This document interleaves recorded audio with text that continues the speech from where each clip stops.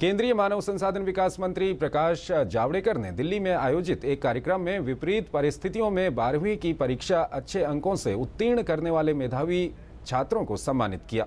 इस मौके पर सम्मान हासिल करने वाले विद्यार्थियों के उज्जवल भविष्य की कामना करते हुए जावड़ेकर ने कहा कि समाज को ऐसे विद्यार्थियों की मदद के लिए आगे आना चाहिए।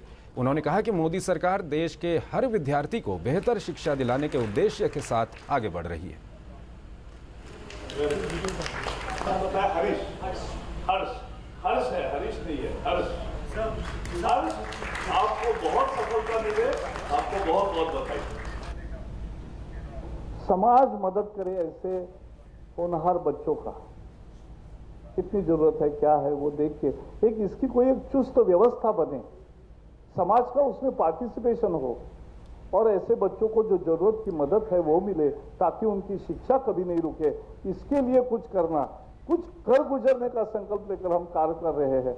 और मोदी जी के नेतृत्व में टीम इंडिया इसी के लिए काम करेगी कि हर बच्चे को शिक्षा मिले, अच्छी शिक्षा मिले और अच्छे सफलता मिले, कौशल मिले, हुनर है ही। और उसके साथ रोज़गार भी अच्छा हो और सम्मान भी हो। जिस देश में गरीब का सम्मान होता है, मेहनत का सम्मान होता है, वही देश आगे जाता है।